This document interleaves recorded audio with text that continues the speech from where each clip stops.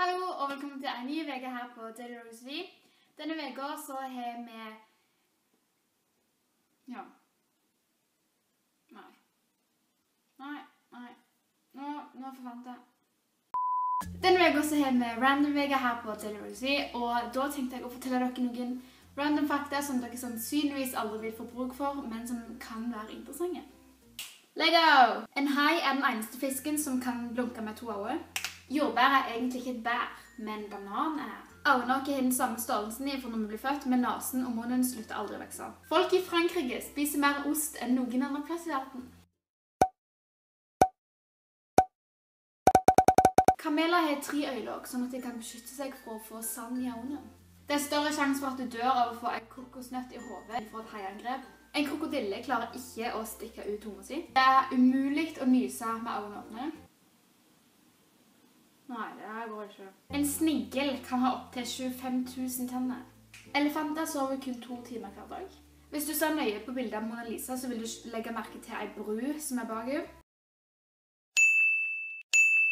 I gjennomsnitt lever mennesker som klager mer lenger. Ingen vet egentlig hvor tid eller hvem som oppfant donuts. Når en frosk skal spy, så spyr han opp magesekken sin, og mens magesekken dingler ut av munnen, så graver han ut innholdet av magesekken med hendene, og så svelger han magesekken sin igjen.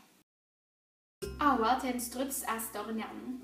Det er kun kvinnelige mygg som biter mennesker. Å tygge tyggis skal visstnok hjelpe når at du skjære opp løk. Over 1000 fugler dør hvert år av å krasje inn i et vindu. Ja. Katter bruker værhårene sine for å sjekke om det er stort nok område for de til å komme gjennom.